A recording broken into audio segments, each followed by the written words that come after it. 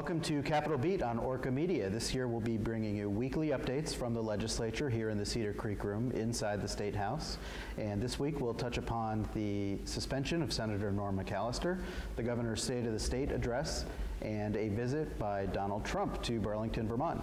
Joining me now is Chittenden County Senator Philip Baruth. Thank you so much. Yeah, thank you. Thanks for being here. Uh, the week began, the, the legislative session began on sort of a down note, uh, a very somber chamber, as you addressed the fate of Senator McAllister, who last May was arrested here on the grounds of the State House uh, on sex crime ch- charges. You all worked very hard over the off-session period to determine exactly how to address this situation. Right. Run us through how you ended up uh, at, at the vote for suspension. Sure. Uh, So as you said, last May, charges were handed down against Senator McAllister, three uh, felony sexual assault charges, three prohibited acts charges. Right. Very, very serious, multiple charges, multiple victims alleging uh, this sort of activity. Yeah. So the Rules Committee last May immediately relieved Senator McAllister of his committee uh, assignments. Right. And I thought that was the right idea at the time.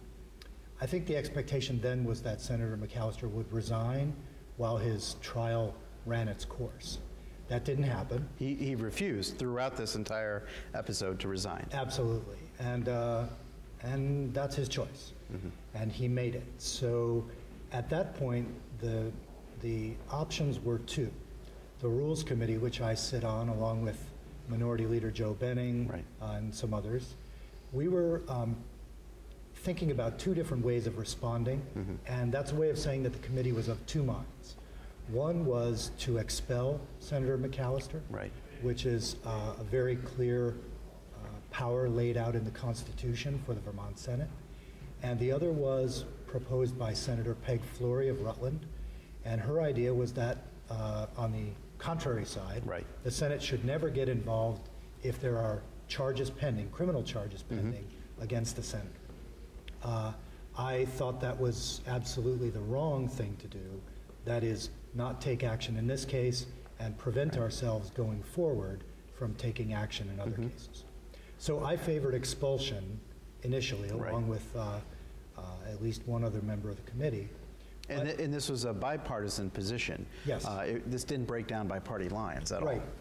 Um, And so, at a certain point, it became clear that the committee was not going to find a majority with those two options. Mm-hmm. Right.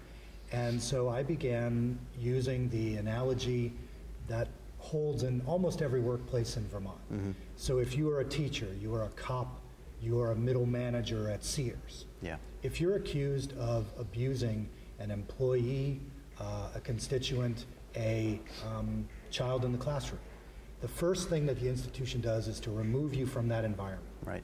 So um, if you imagine a teacher accused of abusing a student, now to make the analogy perfect, imagine that three students have accused the teacher.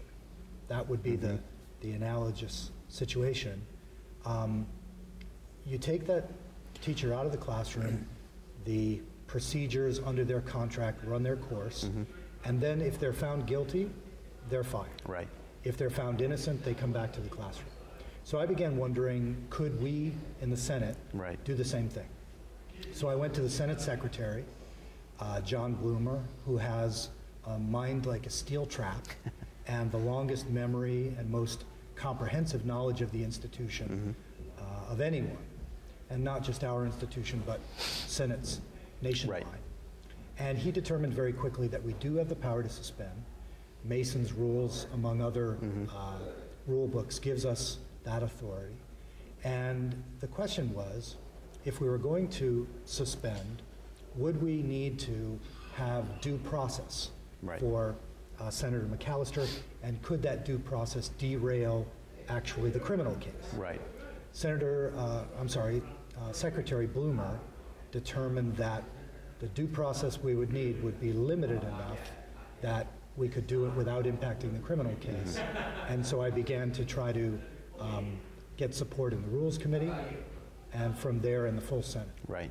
Now, seeking the expulsion of Senator McAllister would have required a hearing, witnesses, uh, testimony, perhaps evidence, and that is sort of what derailed that effort to expel him. Um, Are you confident that the, the suspension route will withstand a legal challenge if somebody does try to challenge it? Because one of the arguments made by Senator Flory and uh, Senator McAllister has alluded to this himself is that Franklin County is now denied one of its two Senate seats and does not have full representation. Um, are, you- did you receive enough sound legal advice, in your view, uh, to think that this will, will hold up? Absolutely. So again, this was a process that was months coming together. Um, What I will say is that what Senator McAllister was allowed for suspension Right. was limited, but it was fulsome. So in other words, he was notified that we were considering a suspension resolution in the Rules Committee. Right. He was allowed to attend and testify. Which he did. Yes. And then when it, on a, on a 3-2 vote, it came forward to the full Senate, and in that vote, um, he was allowed to attend, uh, testify, and vote Right. on his own suspension. And in addition, he was provided legal counsel throughout. So uh, I'm convinced, and I, I am not a lawyer, but the lawyers that I have consulted believe that that protects us in the event of a challenge. Okay. Can I go to your other question about representation? Yes. So no solution in this case was perfect. Right. And that's why I began by saying no matter what we did, no one would feel good at the end of the day. And one of the evils of this suspension uh, idea and its execution is that Franklin County now has one senator. But what I said to people on the floor was twofold. First, you have different responsibilities in the chamber. Right. Definitely you have the, the responsibility of protecting the representation of Franklin County. Mm-hmm. But you also have the responsibility of protecting the people in our care in the building. So we have legislative pages who are in middle school, mm-hmm. classes of those pages who rotate in and out of the chamber. We also have ledge counsel, uh, joint fiscal, people who serve us and staff us. So it is not unusual for me to be able to uh, say to someone, I need to work with you on a piece of legislation.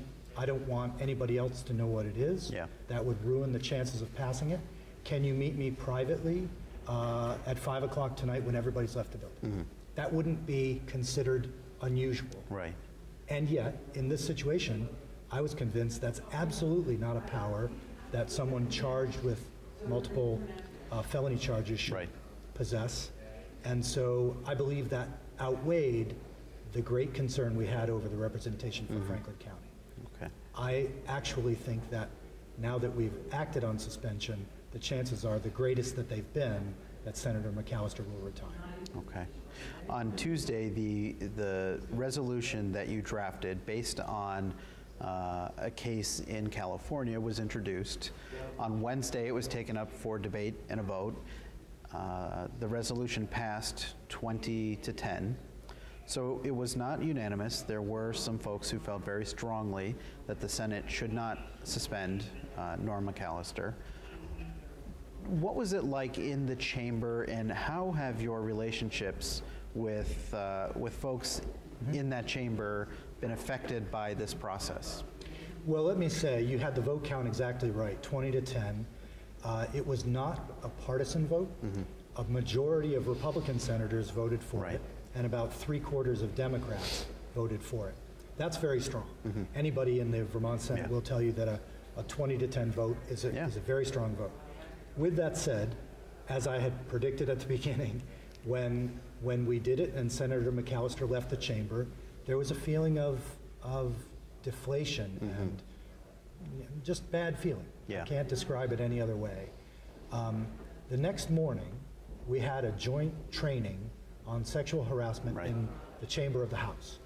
And I actually thought that did a great deal to change the mood. So the woman who gave that training was very smart, very funny. Um, there was a lot of um, serious attention to the issues of sexual harassment, Right. but there was also some you know, innocent laughter Right. about uh, the things that otherwise make us afraid. And I thought that, and the fact that, um, as I say, there were there were opinion leaders on the other side of the aisle. So there was the lieutenant governor, uh, Phil Scott, Right. released a statement supporting the action. Joe Benning, the minority leader, mm-hmm. myself, John Campbell, the, the Senate President pro tem. There, there was a lot of official support for it. There was a lot of rank and file support. And so, if it had to be a down moment, I think it's destined to be a temporary down moment because there was a general feeling that it was absolutely necessary. Yeah. Was this one of the more difficult issues that the Senate has had to take up uh, during your tenure here? Absolutely. No, I, I remember the Death with Dignity uh, fight, which, as you know, went on for years. Right. Uh, it was litigated within the chamber at every stage. Right. Every procedural move was, uh, was a contest and a fight. What you saw this week with Senator McAllister was people didn't necessarily want to openly scrap about it Yeah. but their convictions were on both sides deeply held. And, you know, that's honestly, that's what we're sent to this building to do. There's a reason they built it out of granite, it's fireproof. And when you have really explosive issues, Yeah. uh, this is where they belong. Has Senator McAllister indicated to you or any other Senate leaders whether or not he intends to return and uh, perhaps sit in the gallery or take in uh, the proceedings at this point? As far as I know, no one's in touch with him on that. He did have a little uh, impromptu press conference. Right. You may have been there in the Yes. parking lot. Um, and during that time, he said, as I remember, all things are on the table. Right. From resigning his seat to running for reelection Right. to coming to sit in the gallery. One thing that is absolutely certain he will not be sitting on the Senate floor, he will not be voting, and I think that's correct and proper. All right. Senator Baruth, thank you so much for joining us. Yeah, thank Appreciate you. it. Thanks. Governor Peter Shumlin on Thursday delivered his sixth and final State of the State address. He touched on uh, economic uh, opportunity for the state, creating jobs, and a host of other things. Joining me now is House Minority Leader Don Turner from Milton. Thank you. Thank you, Neal, for having me on. Sure. There were a number of things that the governor mentioned uh, support for paid sick leave, expanding the enterprise fund, which is a, a state fund that goes to ind- independent private businesses for job creation. Um, he wants to boost the uh, grow local, eat local movement.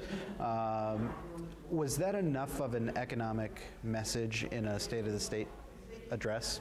Uh, I don't, um, I don't think so, Neal. I think that we need to hear a lot more uh, of, you know, the, the state has some really challenging times ahead of us, and we all know that economic growth is where we, we really have to focus some energy if we're going to turn the tide here for, Right. for Vermont. I, I don't think that those things that the governor talked. I, I mean, again, I'm not opposed to you know the local movements Right. and those things. I mean, anything we can do to help local uh, Vermonters um, prosper, we, we want to do that. Right. Um, the paid sick leave is a little, you know, I couldn't support that in the House. I still don't support it. Right. I kind of hope they hold off on that. You know, on one hand, we try to encourage economic development, and on the other hand, we're putting another burden on the small business to, to pay people when they're not at work.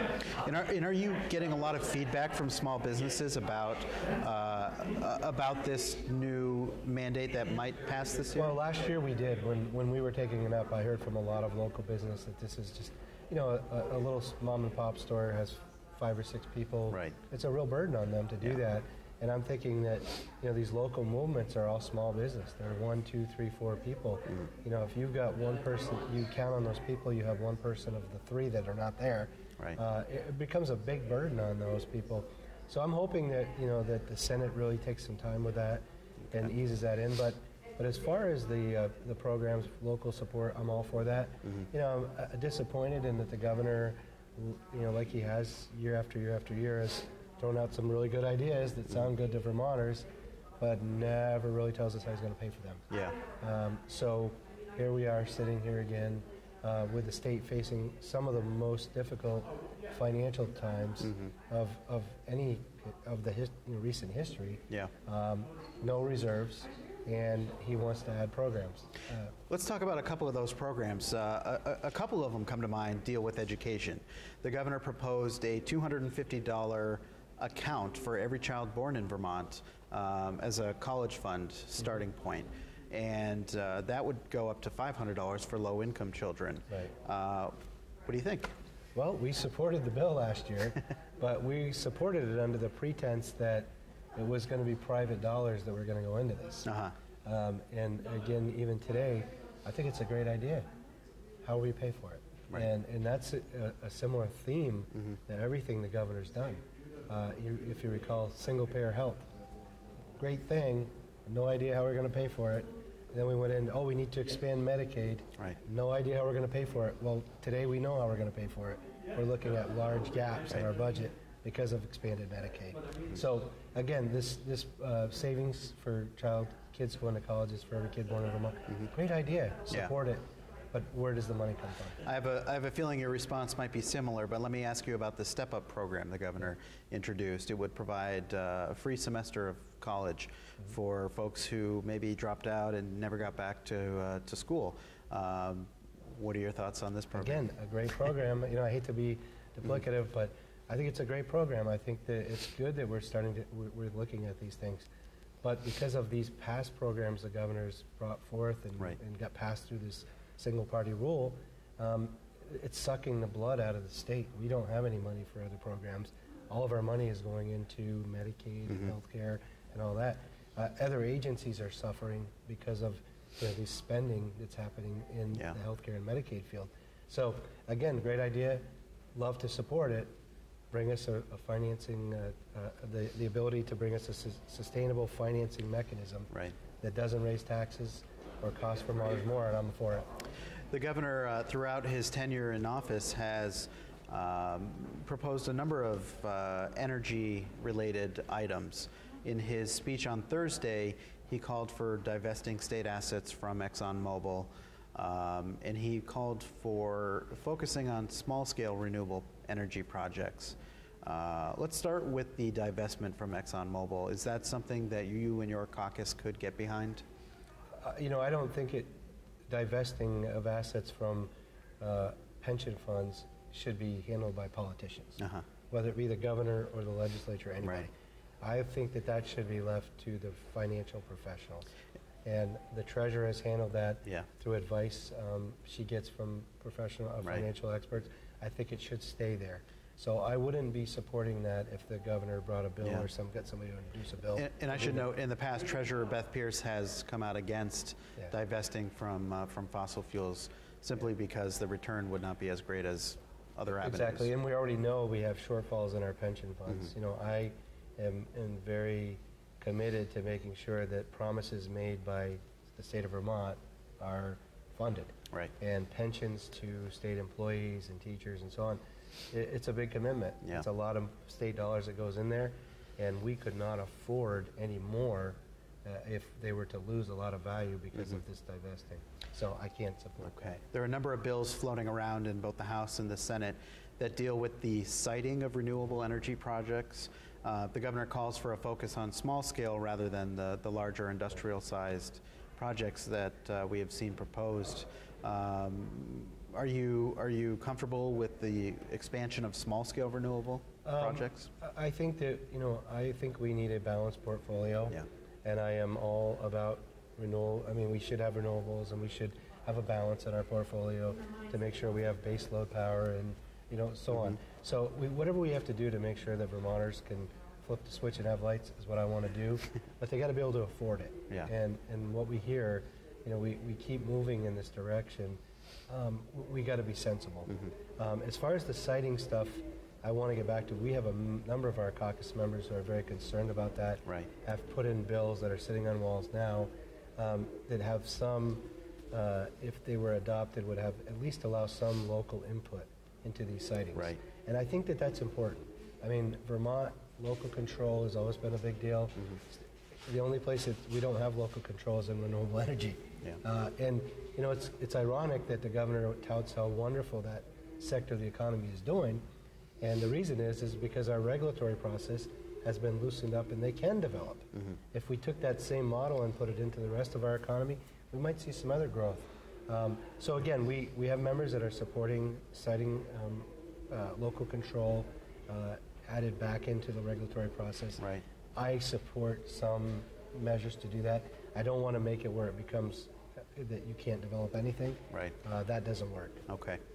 Uh, During the off session, as you know, there was a lot of buzz about whether or not the legislature would move forward with legalizing marijuana. Uh, There's a bill in the Senate, a couple of bills in the Senate uh, that will be considered this year. And the governor finally took a firm stand on uh, whether or not he believes it should happen. And he said he would, uh, he would sign a bill legalizing pot if it met certain conditions. Uh, Are you comfortable with those conditions that the governor laid out? Um, I'm personally, I'm opposed to legalizing marijuana. Um, our caucus hasn't really taken a position on it. We Yeah. will, we will, as the session moves on and see what the bills look like, we'll start to weigh in more on that. Personally, I'm opposed to it. I'm, Uh-huh. a, I'm a, I'm the fire and rescue chief in Milton. I'm a public safety guy. I work closely with local law enforcement as well as the state police. They have a difficult job already. Adding one more uh, problem Yeah. is not the way uh, I think that we need to go. And, and it was quite ironic. I got a number of emails last night from constituents who said, Did we hear the governor right? He wants to legalize one drug to help fund programs to, Right. to take people off opiates. I said, I think you heard him. That's the way I heard it. Doesn't make a lot of sense to me either. Right. So I can't support that. And as a public safety official, is your uh, is your main concern impairment on the roads, or is it does it go beyond that? It goes beyond that. I mean, that's one primary. I mean, we, you know, over the years, I've been in numbers of driving under the influence accidents, Right. Major, you know, loss and death and the whole deal. So I, I have that to fall back on. But um, we also have, you know, when I go on ambulance calls and you see the way families are impacted by these drugs, it, it's very, you know, it's the whole society is being affected by drug abuse. Right. And so the governor's right on the opiate. I get that, and we got to fix it. But I don't think funding it by legalizing another drug that has a whole nother set of problems is the way to go. Okay. And before I let you run, uh, last night Donald Trump, the Republican frontrunner in the presidential contest, was in Burlington. Um, good for the state, bad for the state. What's your take? I think it's great for the state. Um, you know, I think it's great that we actually have higher um, presidential candidates coming to Vermont. Uh, I've been to a couple of events. I didn't go last night. Uh, you know, I haven't decided on who I'm supporting. I, I'm not a supporter of Donald Trump. Uh, you know, I, I just I- I don't feel that. You know, I, I wish he was more constituent service, you know, based, Uh-huh. and I don't feel that from him. Um, but I, I think it was great for Vermont because it, it, it puts Vermont on the map. It brings economic development. People come. Uh, Yeah. You have people that it gets dialogue. I mean, we've had people talking about it all the time. Uh, Vermont's been on the map, but but most importantly, I think it's important for the people that do support Donald Trump to have an opportunity to go and actually hear the guy. Mm-hmm. Yeah. Hear what he stands, see what he stands for, see him in person. Yeah. Besides what you're seeing on TV and stuff. So I'm glad he came. I wish every candidate would come so everybody had that same opportunity. Um, but we'll see how it all plays out. Uh, I'm glad it was it was peaceful and everybody Right. got their say. And uh, I hope the people that support him have this. You know, they, they learn what they wanted to learn about the candidate. All right. House Minority Leader Don Turner, thank you. Thank Appreciate you, it. Thank you. Thanks for watching Capitol Beat on Orca Media. You can catch this program on orcamedia.net or vermontpressbureau.com. And we'll be back next week right here in the Cedar Creek Room with another update of the legislative session. Thanks.